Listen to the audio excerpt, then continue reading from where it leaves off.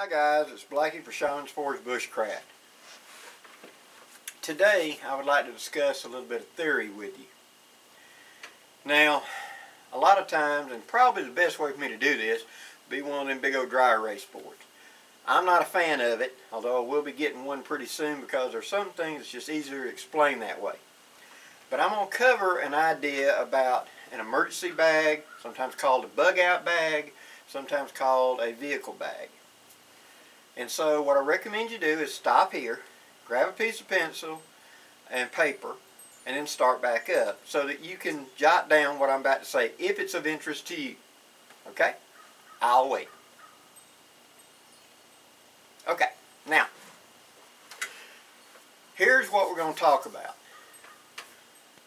What is, and we will use the term, uh, an emergency bag. Well, it's exactly that.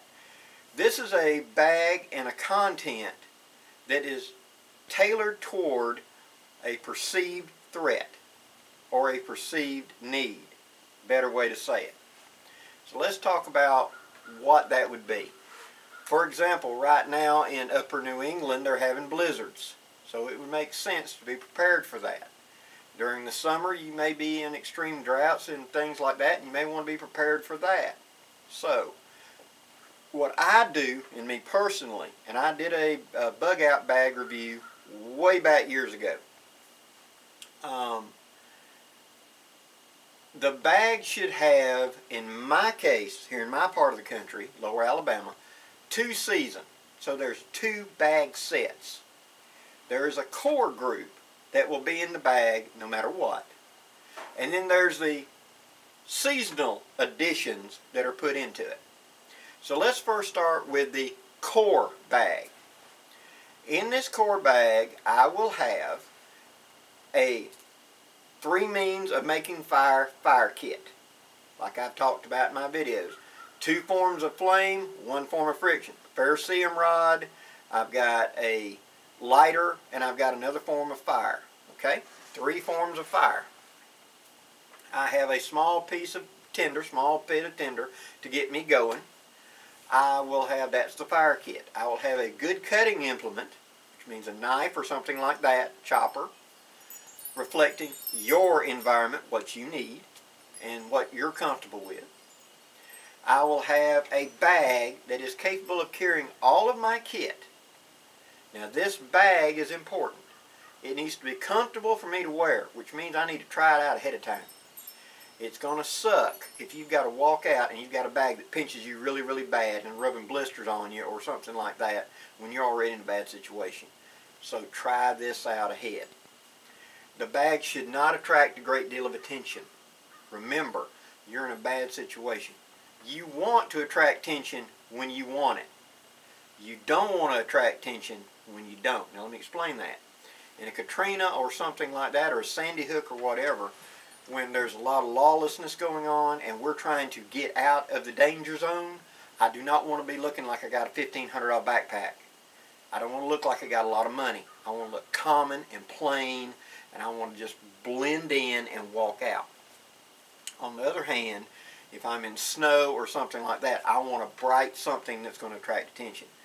Therefore, like with the packs that I use, I often will have, you know, a way of attracting attention.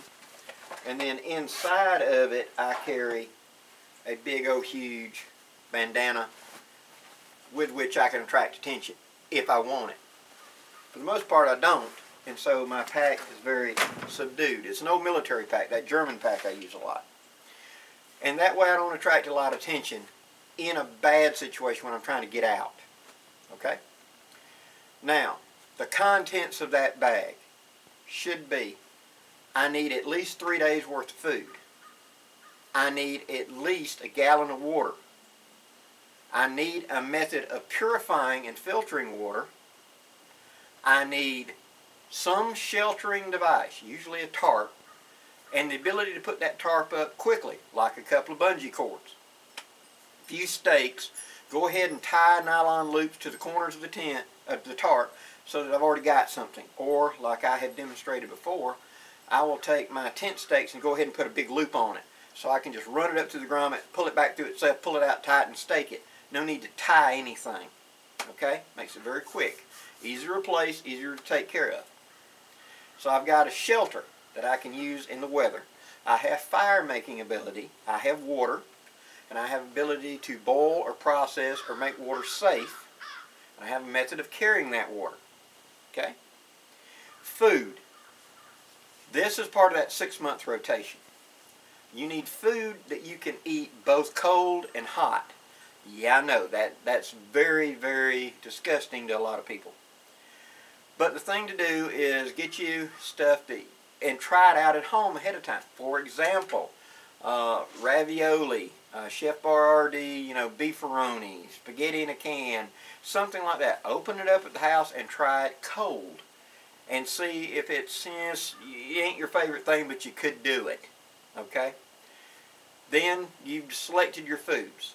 Now, Blackie, why do you want it cold? Because if it's already 90 degrees and it's hot, I don't want to take hot food into me if I'm trying to cool. Okay?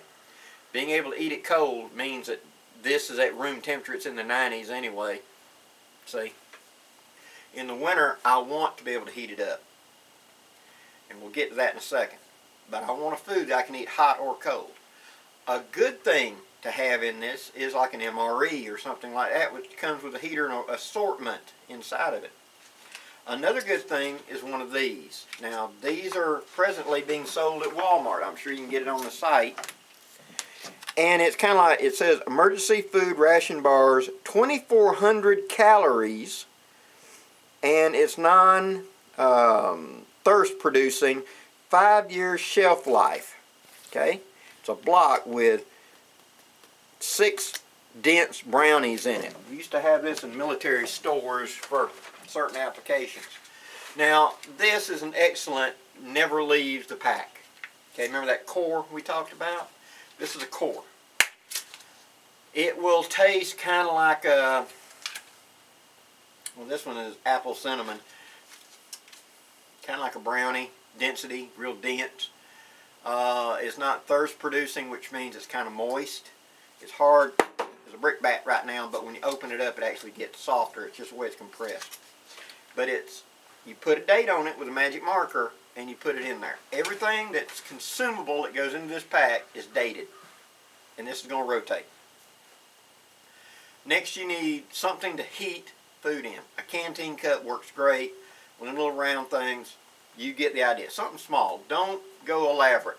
Just something that I could dump the can of whatever into, have a small alcohol stove or a Trangia or something similar. Um, the wax balls, which are uh, dryer lint incorporated into paraffin wax, make a good way of heating up your rations. But some way of heating up food. Okay?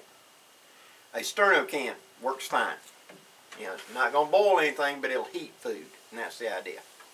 So now we have shelter, we have water, we have fire capability, we got a cutting tool. We need a flashlight or some way of seeing. I like a headlamp and a separate flashlight.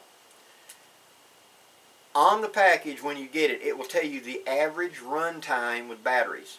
Take that into account. If this is a really, really bright flashlight, but it's only good for one hour, if on the other hand I get one that's not nearly as bright but it's good for a couple of hundred hours, yeah, carry spare batteries. The batteries get dated and they get rotated in and out as well. Okay? That's basically the core.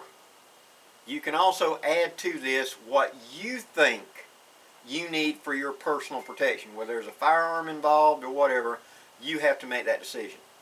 But this is the core. Okay, now let's talk about the seasonal.